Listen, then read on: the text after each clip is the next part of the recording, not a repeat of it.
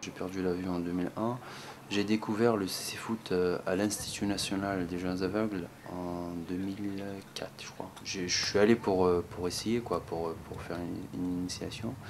Et ça m'a tout de suite plu parce que j'étais footballeur en fait, de base, valide.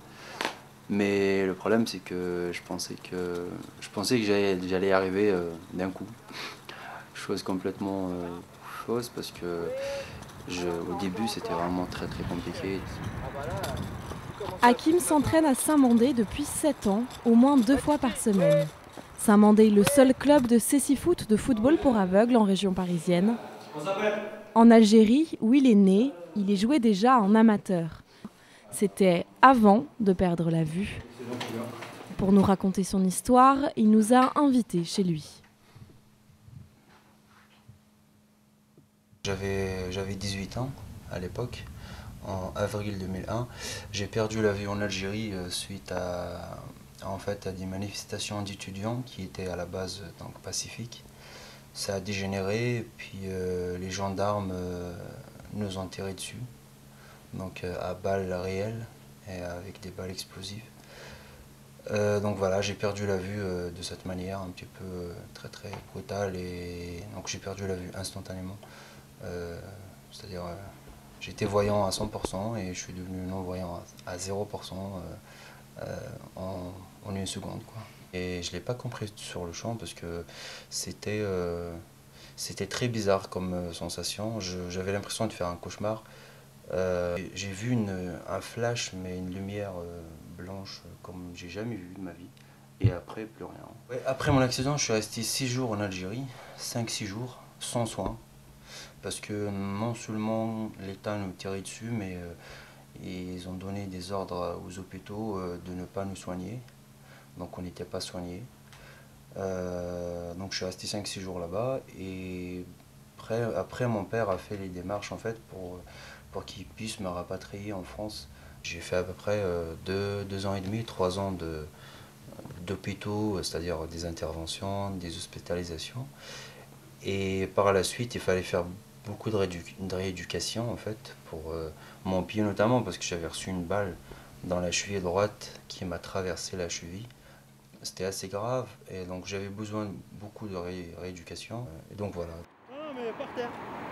Il se relève vite en 2004. À l'Institut national des jeunes aveugles, Hakim découvre le Cécifoot. Foot. 2005, il rejoint l'effectif de Saint-Mandé à l'est de Paris. C'est quelqu'un qui se plaint jamais en fait, qui a, quand même connu des, choses assez difficiles et c'est quelqu'un de très, très joyeux, tout le temps disponible avec les autres, euh, il, rigole tout le temps, c'est vrai qu'on charrie pas mal, on a une bonne ambiance dans, ce groupe et, et Hakim fait partie des gens euh, qui rigole souvent et, qui taquine pas mal aussi. Élément important du vestiaire, Hakim l'est également sur le terrain. Son talent et sa naturalisation l'année dernière lui ouvrent logiquement les portes de l'équipe de France. Il a, un vrai rendement défensif euh, en championnat du moins avec nous et pour moi c'est normal qu'il fasse au moins partie du groupe, euh, euh, du groupe France.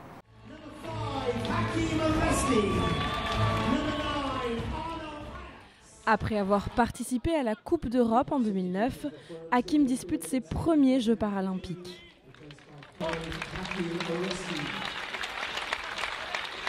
L'équipe de France échoue au pied du podium après une défaite en finale face au Brésil 2-0. Un immense souvenir pour le défenseur des Bleus. D'accéder à la finale aux Jeux paralympiques face au Brésil, on ne pouvait pas rêver mieux en fait. Et puis euh, pour ma part, la, médaille d'argent, elle a aussi une saveur un peu particulière parce que c'est comme je vous dis, hein, j'ai reçu une balle dans la cheville droite, j'ai failli perdre mon pied. Et le fait de pratiquer le foot, de pouvoir courir, c'est une revanche en fait pour moi. Il y a dix ans en arrière, j'étais vraiment très au fond du trou en fait, très très loin. Et euh, quand je vois où je suis aujourd'hui, avec, euh, bah, avec ma place en équipe de France, avec ma place dans la société, euh, c'est pour moi, c'est une belle revanche en fait par rapport à la vie.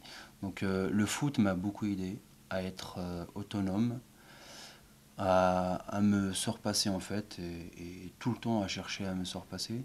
Et euh, donc ouais, c'est, ça m'a beaucoup aidé en fait le foot. Mais en tout cas, ouais, on m'aurait dit il y a 10 ans que j'allais déjà pouvoir euh, je sais pas moi, rien que sortir, aller m'entraîner, faire du sport, euh, faire de la musique, euh, voyager seul, je sais pas, faire tout ce que je fais actuellement. Je pense que j'aurais soit pleuré parce que je n'aurais pas cru, soit rigolé parce que je me disais non mais lui il se fout de ma gueule. À 29 ans, Hakim a d'autres projets en tête. Accordeur de piano, il suit une formation pour devenir kinésithérapeute. Quant à sa carrière de footballeur, il continue de s'entraîner. Il est déjà tourné vers les Paralympiques de Rio en 2016. Il tentera de ramener la médaille d'or qui lui a échappé à Londres.